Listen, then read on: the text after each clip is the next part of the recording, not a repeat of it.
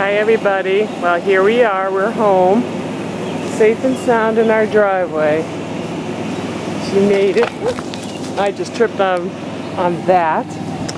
Uh, Ruski did a marvelous job with uh, backing her in. There's the Roth. There's the Dagny at home in our driveway.